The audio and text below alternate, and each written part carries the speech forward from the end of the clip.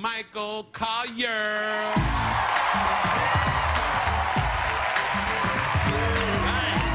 Yo, me my love. I need more than that. Y'all must not know me. All right, all right. Take it easy. Take it easy. Where did Jay? Did Jay leave? Cause I, I brought him some lotion. Jay, come and get this lotion, dog. They sent this out for you, and I, you got a lot of courage to take your shirt off like that. That's a! That was a lot of courage right there, dog. I got a weight problem, but it ain't like that. It ain't like that. And I ain't taking my shirt off. I'm proud of you. I want, I want to introduce myself to you. A lot of you folks don't know anything about me. Just tell you a little bit about myself. I come from your average American family. In fact, my kid brother is currently in the witness relocation program. Uh, but I'm not talking about government witness relocation. I'm talking about Jehovah Witness relocation. They, yeah, they tired of him knocking on the door all the time, which is weird because we Catholic. Any Catholics? Any Catholic? You really? You Catholic? Me too, but I'm a happy Catholic. I've already accepted the fact that I'm going to hell. Let me, let me tell you what happened. We went to Catholic church, but we couldn't afford the school. I remember the time the priest come to my house. He was talking to my mama. He said, Miss Colyar, how come your kids don't go to Catholic school? She said, oh, no, we prefer to beat them at home. And I don't know, I don't know if I mentioned this or not, but my kid brother, we thought he was possessed when he was born because he had them three sixes in his forehead. Okay, I'm lying. He really had a full house. But we cleaned him out. We cleaned him out. Oh, let me tell you, let me tell you what we used, what we did to my father because my father sometimes would strike us, you know, hit us and stuff, and I didn't like that, so I'd always get him back. We'd be sitting around the dinner table, and we have guests. He'd reach for something, I'd do this, do this. But this is how we really got him. This is how we really got him. He, he believes in cryonics, you know, where you freeze the body, bring the body back, and he insisted that when he died, we freeze the body. So we got him back. When he died, we had him cremated, but we put the ashes in the refrigerator. So that worked out, that worked out pretty good. Did y'all see Boondocks? Have you been seeing that new show, Boondocks?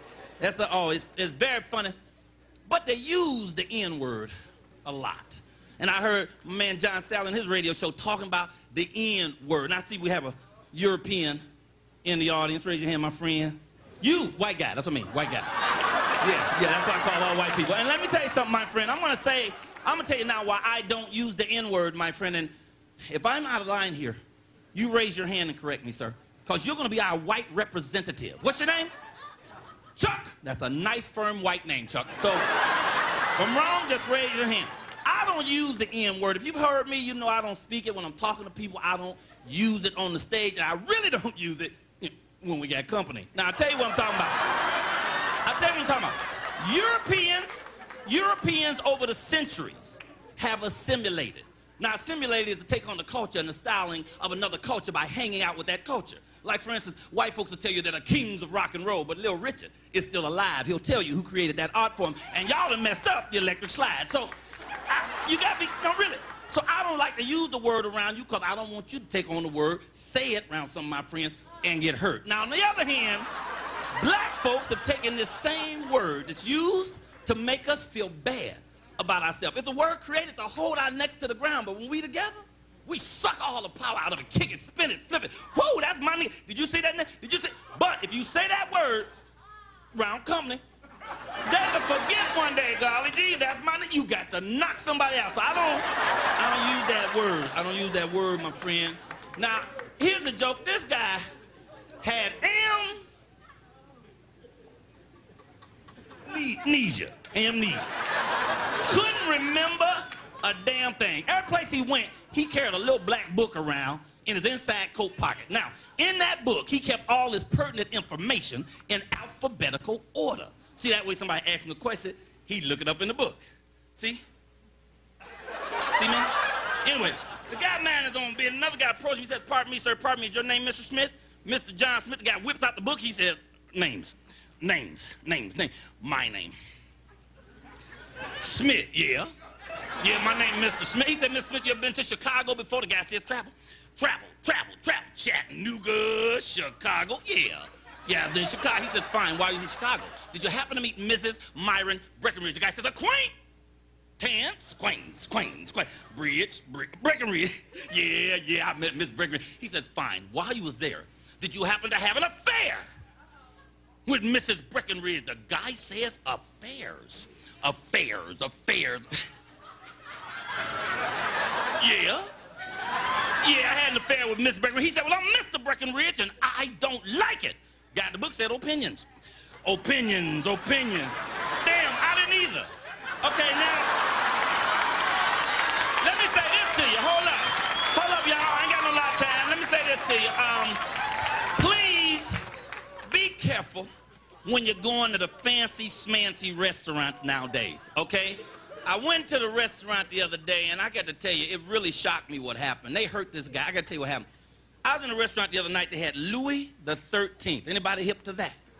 Louis the 13th is one of the finest cognacs made by man. $170 a shot. The empty bottle, $770 is hand-blown glass. This guy came in, ordered six. They lined him up. He drank them straight down. Bartender said, whoa, you sure drink those fast. He said, you drink fast too, if you had what I got. They said, what you got? He said, 50 cent. 50 cent, yeah. They were still whooping his behind when I left. Ooh, ooh, let me you this. Let me you this. Let me you this. I have a, I have a standard joke I like to do. Uh, many times, but I love this joke. I'm going to share it with you. Remember, I do old jokes. I like old jokes. I don't think an old joke should die just cause the person that wrote it did. He can't use it no more. Redd Foxx, one of the greatest comedians in my lifetime. Redd Foxx created 75 comedy albums. Redd is dead. He, he can't use that joke no more. What are we supposed to do with all these great jokes? Throw them away? Heck no. I tell them to you, you tell them at work, you're a hero, and you pay no royalty. This joke, 42 years old, the man that wrote this joke died three weeks ago, last Tuesday. Help yourself. It's the in the groove joke. This guy goes into the restaurant. Obviously, he had an attitude problem. Walk right up to the waiter, said, Excuse me, Bubba, but I want you to go in the back. You tell that cook I want a cheeseburger. Not too greasy, not too dry, but right in the groove. And hey, while you're at it, throw in a large order of french fries. Not too crunchy, not too soft, but right in the groove. And hey, while you're at it, you might as well whip up a chocolate milk shake. Not too thick, not too thin, but right in the groove. The man went in the back, talked to the cook. Came back out five minutes later. He said, look, the cook said tell you to kiss his behind. Not to the left, not to the right, but right in the groove. Now look, before I, uh... Oh, let me tell a cute joke. Wait, I got another cute one. Let me, let me do a quick cute one. Uh, cause I, I want to give you a joke you can go back and tell. And that's the world famous potato joke. These four potatoes was out dancing. How could you tell which one was kind of loose? One of them kept saying, Idaho, Idaho.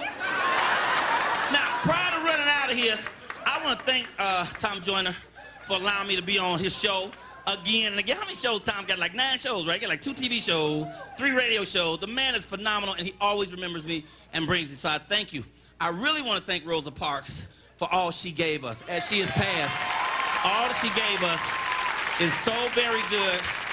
And my only wish, and I prayed, they got enough chairs in heaven because I don't want her to go up there starting no mess. Ladies and gentlemen, I'm Michael Colyar.